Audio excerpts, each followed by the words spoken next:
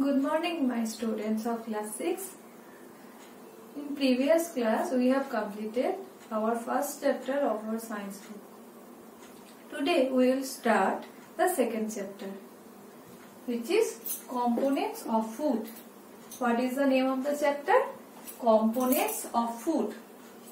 So before starting the chapter or knowing the different components of food we need to know some terms like what is food?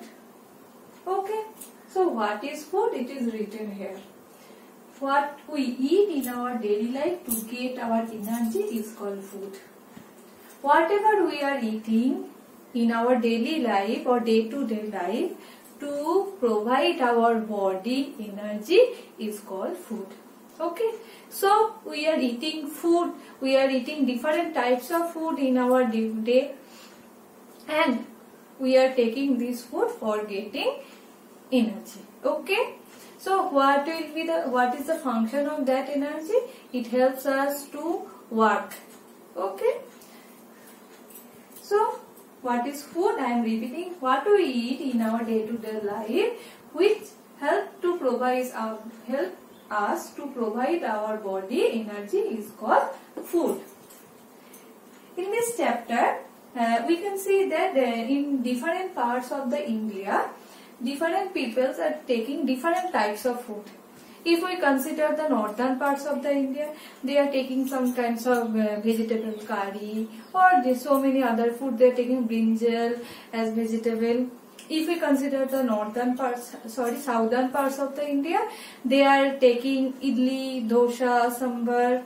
Okay, so if we consider the different regions or different parts of the India, we will get the different food habit among them. Okay. So, in the why we are taking different foods? Because in the food there are some components, okay, which are called as nutrients. So, before knowing the nutrients, we need to know what is nutrition. Okay. First, we need to know what is nutrition. Nutrition is the process of obtaining food necessary for good health, growth and development. Okay, it is a process. Nutrition is a process of obtaining food. Process of obtaining food which are necessary for good health, growth and development of our body.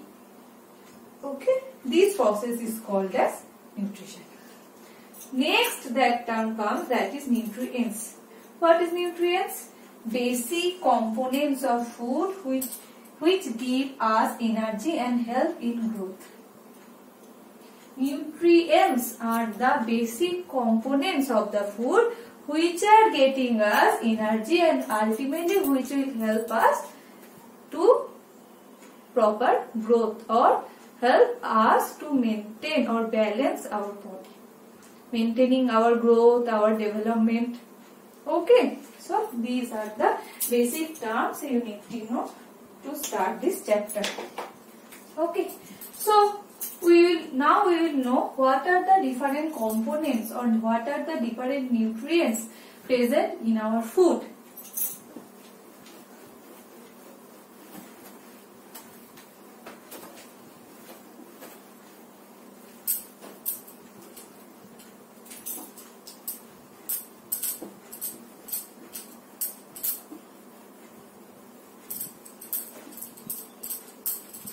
different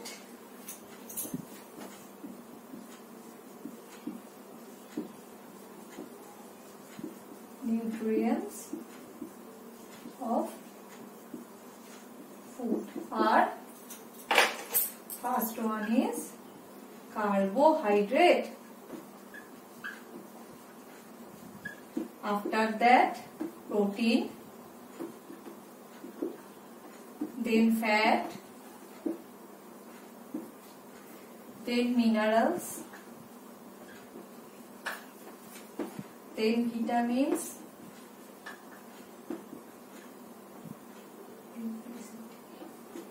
then dietary fiber,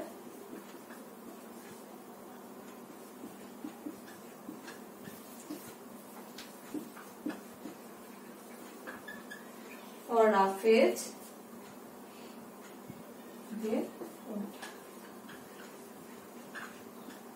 Okay, these are the main components of our food. So,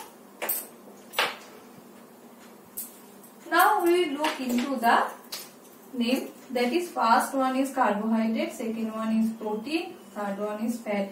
These are the main components of the food. These are the main components of the food or main nutrients of the food. And beside that, some minerals, vitamins, dietary fiber, our roughage and water is also required in our food for maintaining proper growth of our body. Okay. So these are the main nutrients of our food. So now how will you know that uh, in our food carbohydrate is present or protein is present or fat is present? Okay, so there are some experiments by which we can prove that in that food carbohydrate or protein or fat is present. So first we need to know what is carbohydrate. Carbohydrate is a component of food in which carbon, hydrogen and sugar is present.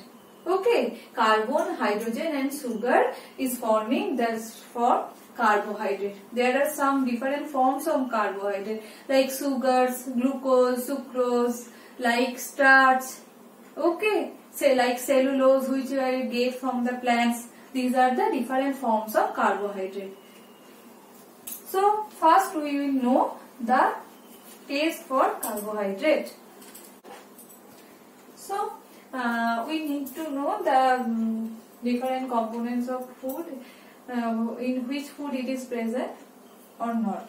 Okay so for taste of carbohydrate first we will know how to taste the uh, presence of carbohydrate in the food. Okay so taste of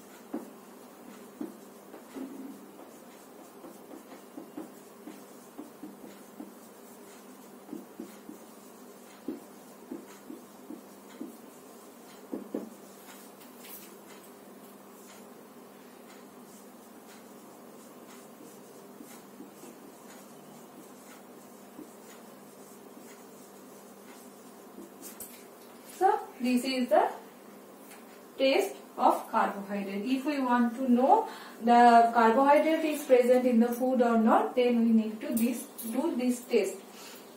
What is this? First, we need to take small quantity of food item. A small quantity of food item. Then we need to put 2 to 3 drops of iodine solution. Okay, 2 to 3 drops of iodine solution.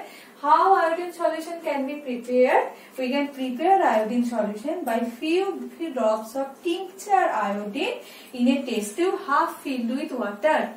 We can make this iodine solution by adding tincture of iodine in few drops of water. So, First we will take the food item. After that we will add 2 to 3 drops of iodine solution which we have made earlier. Then if the color of the food changes to blue black or color of the iodine usually is brownish in color. Okay. If the color changes to blue black then it indicates food contains starch. Starch is a form of carbohydrate. So it is a, indicates that the food contains carbohydrate. Okay. By this experiment we can prove that in that particular food carbohydrate is present. So if we take any kind of potato then we will get the positive result. Okay, but if we take the meat, we will not get the positive result for that because in the potato carbohydrate is present, but in the meat something else is present. Okay. So next we will taste the protein part. So next is taste for protein.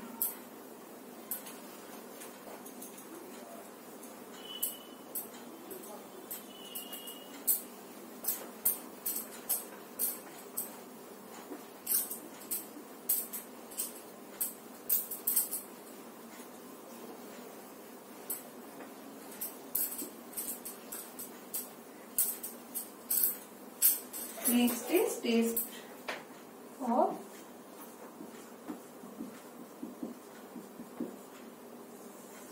protein. So for protein taste we will have to take small quantity of food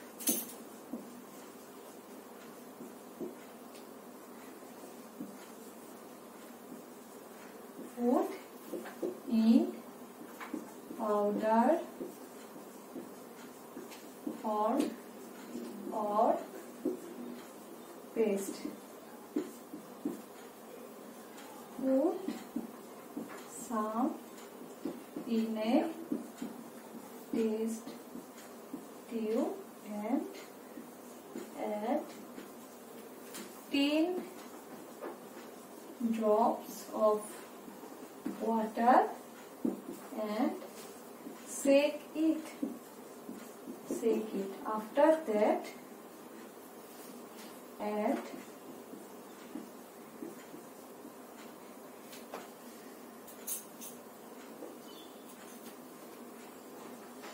ten drops of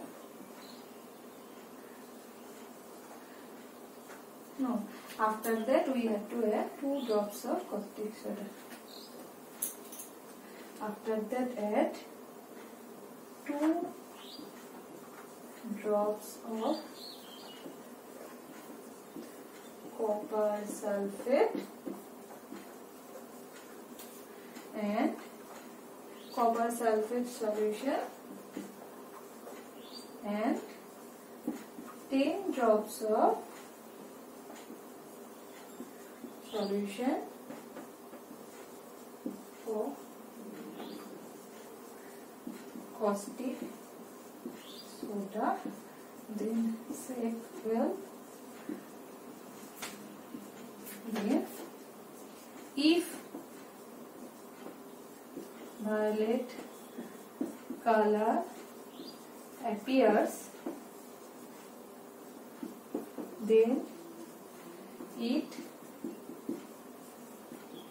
indicates presence of protein. So next part is taste of protein. So in your book it is written that for protein some materials are required that is copper sulfate and caustic soda. How will you make that? Copper sulfate solution can be prepared by 2 gram of copper sulfate in 100 milliliter of water. Copper sulfate can be made by 2 gram of copper sulfate in 100 milliliter of water. And how caustic soda can be made? 10 gram of caustic soda dissolved in 100 ml of water makes the required solution of caustic soda. So 10 gram of caustic soda dissolved in 100 ml of water makes the required amount of caustic soda. Okay. By this we can uh, we have prepared that copper sulfate and caustic soda. Now what will you do? First we have to take some take some small quantity of food. If it is in solid form then we have to make it a paste or make it a powder of it. Then we need to keep that uh, paste or powder in a small test tube. We have to add small quantity of that and after that we have to add near about 10 drops of water inside that test tube. Then after that we have to shake it well. Say we have to shake the test tube very well and then we need to add 2 drops of copper sulfate solution and 10 drops of solution of caustic soda. 2 drops of copper sulfate solution and 10 drops of caustic soda solution. Then we have to shake it well. After that, after few minutes, we can see that a violet color appears. If violet color appears, then it means that protein is present in that food. If violet color does not appear, that will indicate that in that food, that particular food, protein is not present. So if we take a small quantity of meat, then we will get a positive result because in meat protein is present. Or if we take some quantity of chicken, then we will get the positive result. Okay. So these are the experiments of carbohydrate and protein. Next we will know something about the taste of fat. Next ingredient, next main ingredient of that food is taste of fat. Taste of fat. For tasting fat, we have to take small quantity of food and we need to take a paper and within the paper we need to crush the food. Okay, or mash the food so that uh, so that the food contain or the which whatever is present inside the food get in the paper. So after some times or after unfolding the paper, we will see that some oily patches are over there. Okay. So we will keep it for few minutes so that if any water content is present in the paper which is absorbed by the paper, it will be vanished and after few, sometimes we will see that uh, some oily patch is present still now. So it proves that the food contains fat. So fats, fatty food items will leave uh, oily patch on the paper. So with the help of that oily patch, we can prove that in that particular food uh, fat is present. So I am writing this one also.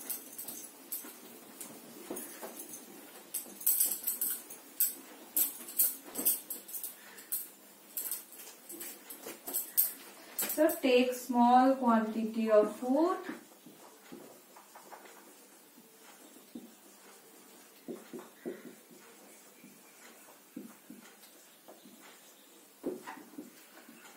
Wrap it in a piece of paper.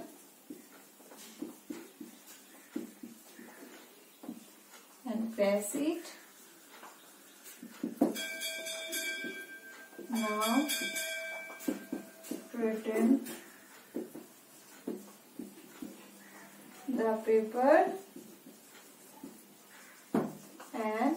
Observe carefully